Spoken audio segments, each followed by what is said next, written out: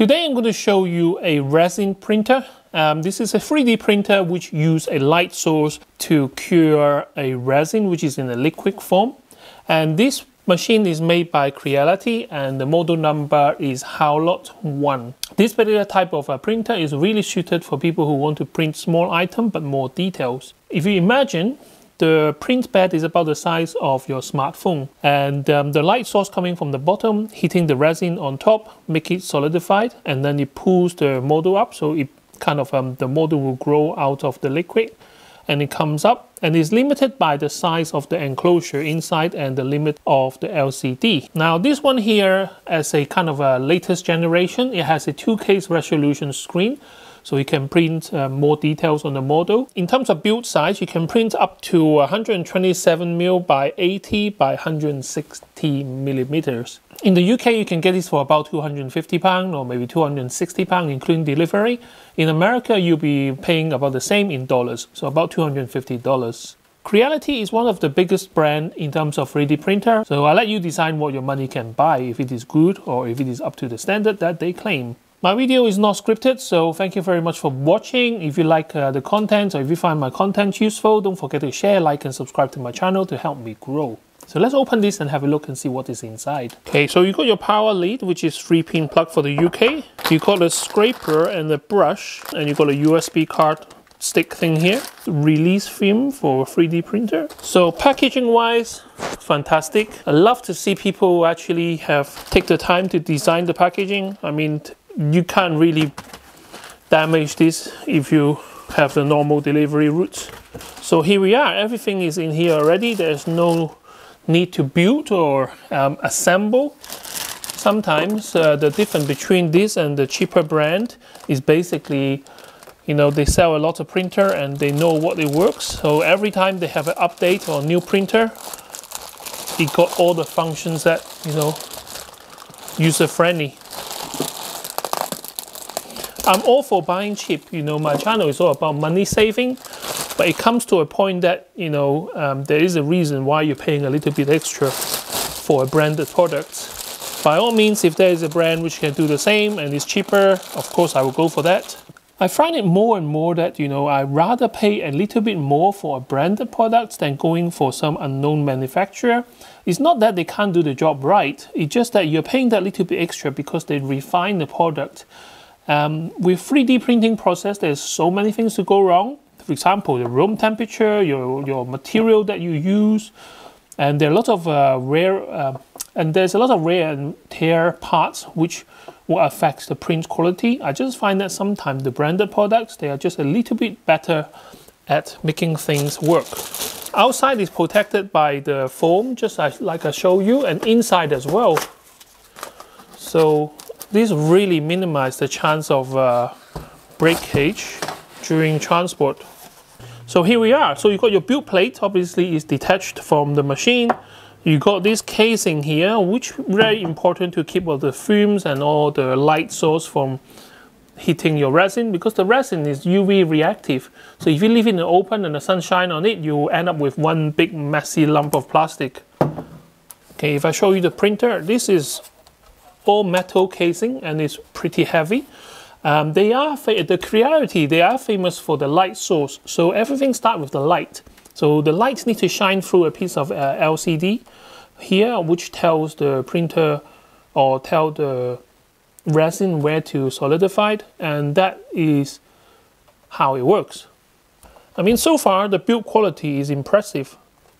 There's hardly any movement on the stand on the head. And that's the unboxing done. I'm going to read on the menu and then I'm going to start printing something to show you guys what this can and what it can't do. So first of all, let's um, take off the film which is the protective film for the LCD display. And your built tank, I call it built tank, you got two sides to it. So one side you have those uh, kind of lines on there, which tells you how much liquid that you're putting in there. So I think it's 170 mil and then 200 something mil and then like as such. So it depends on how big your model is, then you want to put the resin into the tank because as it comes up, the volume will go down in terms of the volume of the um, resin. So make sure that the groove line is on that side and then you put it back onto the screen. and then you screw it down. In terms of powering up the machine, you need to put the 3-pin plug lead on the back. And the lead is not that long, so I need to have an extension on the table on this side. You can always buy a longer catalyst if you want to. And then you can turn it on. So now it's booting up with the Creality logo. I love the latest generation of printer. The touchscreen makes it so much easier to navigate the menu. And then you got options like file and setting. Let's go into setting and you got all this one, which I will go through in detail, maybe part two of the video. Today, I just want to start printing because that's how Im impatient I am.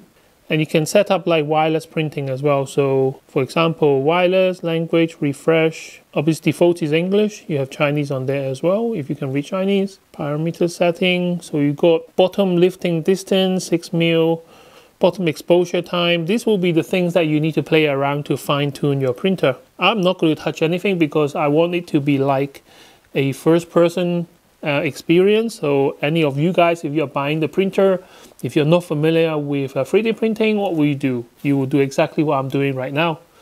So I'm not going to mess around with too much of the details. I just want to see if it prints by itself. So you got file and you got settings. So this is kind of uh, ready to go. Um, I'm going to push it back onto one side here. Resin I have here is just some simple one here. Some of them are water soluble, some of them are not and uh, some of them have low odor. Um, resin usually have a distinctive smell to it and I really don't like it. Obviously this one is inside the enclosure so that will help to confine the smell to one end of it. But I do want to use something which doesn't smell. So I will test out a few and maybe in the future video I can tell you about different brand of the resin or different type of the resin that I use. But today I'm just going to use a standard cheapest one I can find on the internet just like anyone would do um, doing 3D printing. So we got the printer ready, but we need something to print with. So it comes with a USB stick like this. And um, you plug it into the side here. Then you go to file. You got two files on there. I don't know what they are. So this one here is an 18 hours print. I think it's a calibration print, but I'm not going to do that because it's 18 hours long. Okay, so I come to the place where I need to um, slice the 3D model that I download on the internet and get the printer to print, but there is not much instruction here in terms of where to get the software from. So, um, and there's nothing on this disk. I don't think this is a USB stick. I think this is something else, which I'm going to talk about later. So, but on the instruction, they say start printing and you need something called Halo Box. So I start searching on the internet and I found the Creality uh, website, which is very comprehensive, but there's so much on there because they do all different kind of printer. Um, basically, you go to creality.com uh, forward slash download, and then it comes to a um, page where you can download a lot of stuff. So firmware, software, and even some um, um, sample model that you can download. Go to software and you will find HaloBox. And there's the Win64exe, and this is the one for Windows. So I'm going to download it, install it, and then trying to play around with on my PC and get some models and start printing. Then you need your 3D uh, model. So um, I always go to MakerBot Thingiverse. So you just download whatever you want, but at the moment I'm downloaded this Benchy stuff, which is everyone do to test their printer. So I downloaded the file, unzipped it onto my Windows, and then you will go onto the HaloBox software. Now by default, this is a printer called Halot um, Sky, but this is not my printer. So what you need to do is go to Add Printer, and then go to choose Halot 1, add, and that's it. And that's your printer. And um, it's already got the right volume and the right build place and everything, so uh, presumably you don't need to change anything. I mean, you can change stuff, but I'm just going to stick to the really, really basic stuff for now. Then click on the open logo to open a file and then open the 3D Benchy, which I downloaded. Okay, and it takes a few minutes and then it will be showing onto your printer. So here is where you can actually manipulate your model. So if you want to print it bigger, smaller, or add uh, different things to it, then you can. And um, but usually this um, this particular model, there is not a lot of uh, overhang and stuff like that, so you might not need anything Okay, so basically I have downloaded the model, I tilted to one side so there's not too many overhang. So you have to print it like a side, kind of a slanted. Add the support by pressing the support button and I just let everything kind of do automatic. And then now it should be um, good to go. Okay, once you're done, um, export it to local, which is okay. Stick the USB uh, stick in there and then save it to your USB stick and then wait for it to tell you it's finished. And then you take your USB stick out from your computer and then plug it into your printer. Once you plug it in, give it a few seconds and press file. Now the 3D printer, now the 3D printing, um, now the 3D printing model is on the USB and you press that when it's loaded. So it gives you an overview of what you're printing. It tells you that it's going to take 3 hours 32 minutes. And um, it tells you that the file size and roughly what it looks like. Now, if I move the camera closer so you guys can have a look. Okay, so now you can see um, the 3D file actually loaded on here, which I think is a really great idea to have an LCD screen which tells you what your model will actually look like once it's printed. Okay, now please bear in mind that I have not done any calibration or anything at all, yeah? So this is basically what out of the box experience is like. I haven't even calibrated the printhead here. So um, it does say that it's already factory calibrated, so I'm not going to be bothered doing that. If it fails, then you can understand why. Now at this stage, you might want to use gloves because like resin, they are not very skin friendly. And this is not a tutorial on how to um, print stuff. This is more like a out of the box experience. So no spillage so far, so I'm still okay with no gloves on. Doesn't smell as bad as my first generation resin. It is very clever. You got a fan inside to cool things down and obviously circulate the air inside. Make sure the lid is back on securely.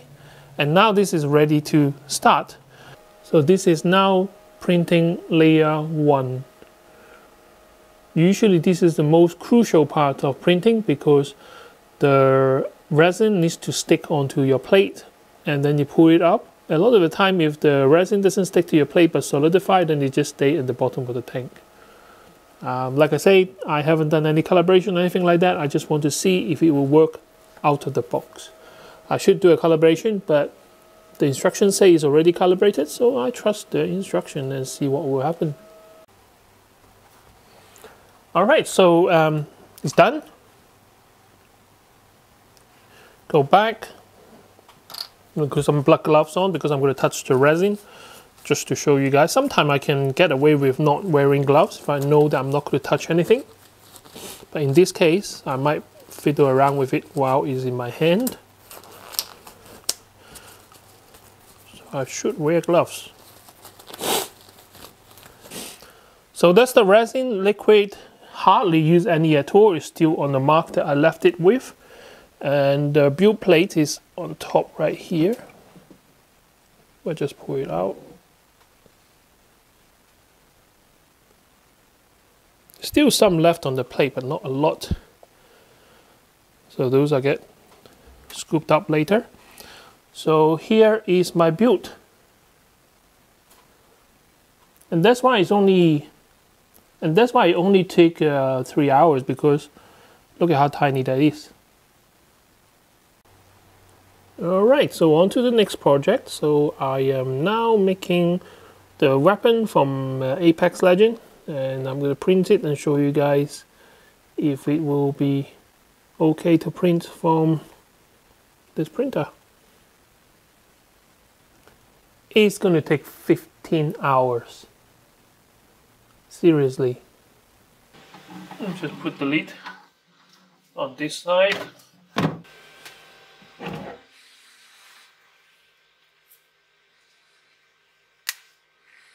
Okay, snap off quite easily. I'm to lay them on the on my dirty mats here and I will give it a wipe of the excess One thing I have to say is uh, resin is quite messy business and it's kind of unavoidable. If you are a neat person, you can uh, you can try as much as you can to keep it clean. And this plate is smooth. Usually, they do recommend you filter the resin, but as a true newbie, I'm not going to do anything to it. I'm just going to push the plate back, tighten it, put the lid back on,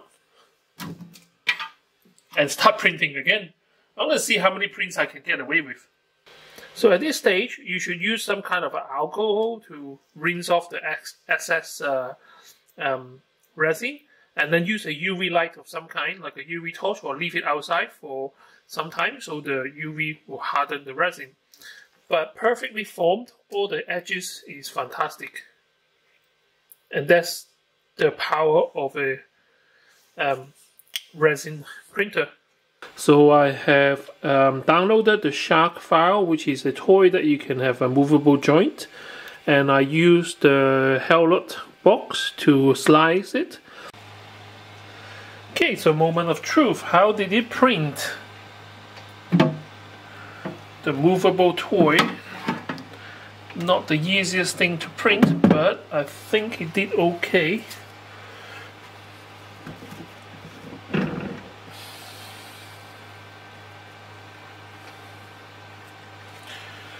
Alright, so there you go.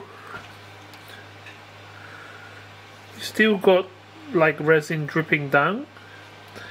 But this will be a good time to scrape it off and then uh, use some uh, ultraviolet light to uh, cure it. So once again, thank you very much for watching my video. If you're not subscribed, don't forget to share, like, and subscribe to my channel to help me grow. Um, just to show you a couple of uh, samples, so I printed a Banshee in much larger size like this, and then a the knife that previously showed you guys right here. The details on this um, print is amazing. You can see the engraving on the knife itself. So this is a plant pot which I downloaded on the internet I haven't done any modification to it. I basically just printed it with the printer. Still a bit wet because I haven't dried it out yet with UV light. And now I am uh, in the middle of a print, another four hours to go. Like I said, there will be part two to this video to show you a lot more about this uh, machine. And I hope to see you next time with more interesting gadget. Bye bye.